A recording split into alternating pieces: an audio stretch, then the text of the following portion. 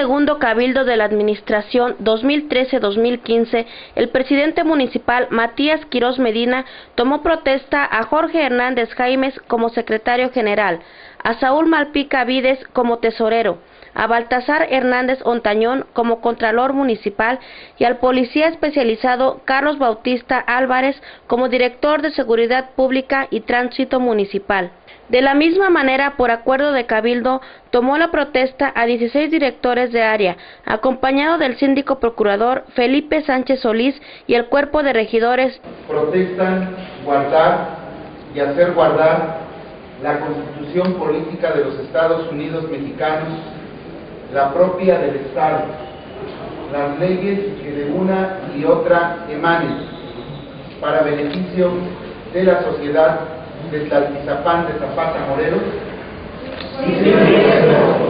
Si no lo hicieran así, que la nación, el Estado y el municipio os lo demandan. Muchas gracias.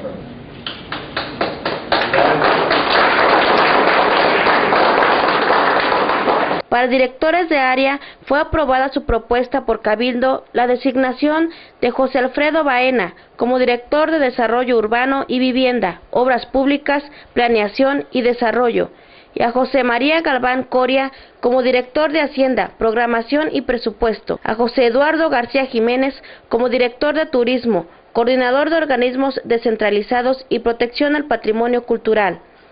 Judith Acosta Arevalo como directora de Bienestar Social, Juan Romero Cruz como director de Desarrollo Agropecuario y Desarrollo Económico, Leobardo Guzmán Gutiérrez como director de Servicios Municipales, Asuntos Indígenas, Colonias y Poblados y Protección Ambiental.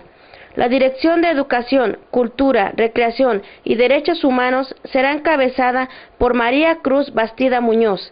Luis Neftalí Enríquez Minero como director de Comunicación Social y Relaciones Públicas, Mario Alberto García Valle como director de Recursos Humanos, Víctor Río Segura como director de Predial y Catastro Municipal, Silvia Senil Mendieta como directora de la Instancia de la Mujer, Dina Miranda Escoto como oficial del Registro Civil, Félix Baena Ríos, oficial mayor, Graciela Domínguez García como directora de Desarrollo Integral de la Familia, León Gómez Benítez como director de Servicios Generales y Marco Antonio Amado Hernández como director de Programas Federales. Finalmente, el edil entregó los nombramientos respectivos a cada uno de ellos.